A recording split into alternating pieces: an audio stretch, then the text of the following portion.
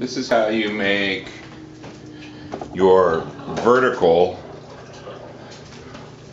um, beams, the ones that are vertical, they go up and down, okay? So it's, you score along the, the traced lines,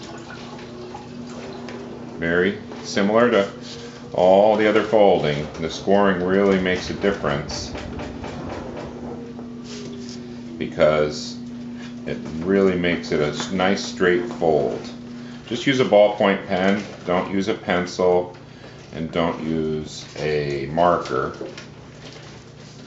Also, some people have asked me if you should use cardstock or just regular paper.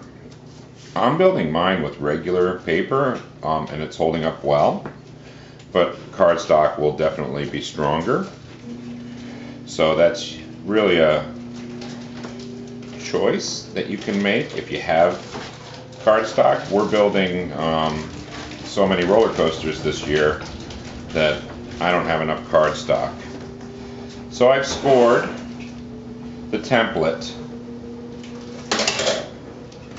and this template makes two vertical beams so I'm just going to cut down the middle where it says cut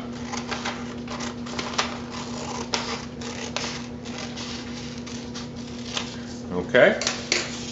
And then we're going to do the same thing with our folding, but before we fold, for the vertical beams, you only cut one side. You don't cut both. You only cut one side. Okay? So you just cut up to the line. Then, the same thing. Just fold on the score lines. Where you scored it. it. Should fold easily. And then,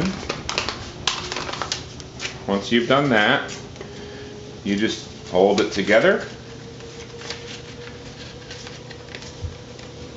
And tape. Just like this. Okay once you've done that, once you've done that, then you can just feather out the bottom and these are what you'll tape down to the ground or down to your base to hold it in place. Just like that. Okay? Piece of cake.